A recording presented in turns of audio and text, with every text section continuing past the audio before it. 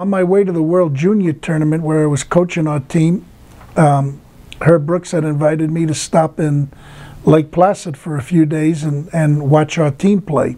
So we could, he just wanted me to give him his, my opinion of it. So I did that, and I remember I was sitting with the, one of the great architects of that team, uh, Bob Fleming.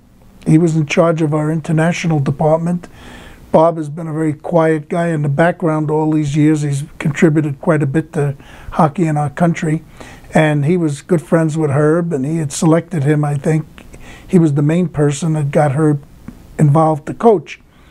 And um, during the game, during the game with Sweden, the first game, I had noticed something on the ice, and I just commented to Bob, and little did I know, he ran down after the period, relayed it to Herb, and Herb called me down, asked me what exactly I had said, and I told him, and he said, "Great."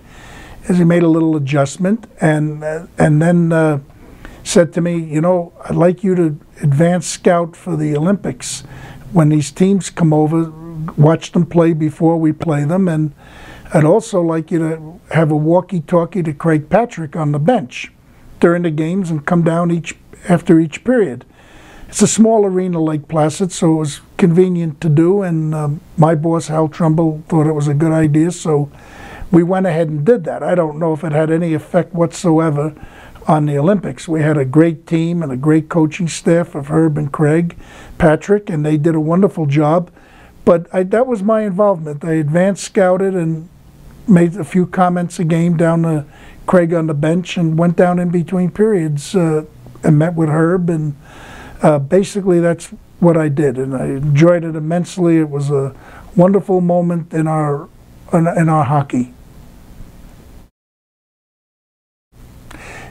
It was a great hockey team. You know, everybody uses the uh, the word miracle, miracle on ice. I didn't think it was a miracle. I have always had a great admiration and respect for our players and coaches, and that was a great team. We we had many of our best players uh, on that team. We didn't have Joe Mullen, which was a tough loss. Of course, Langway, Ftorek, uh, Reed Larson, these guys were playing in the NHL as well as some others. So we didn't have all our best, but we had most of our best players on our 80 team, best American players, and coaches did a terrific job, and the whole staff did. And uh, that team wasn't lucky, they were good. They deserved to win that gold medal, and that's the highlight of my life, I think, in hockey, being around it and being around them and watching them have that great success. It really helped hockey in this country, and they deserved to win the gold medal. I thought that we had the the team that performed best in the Olympics.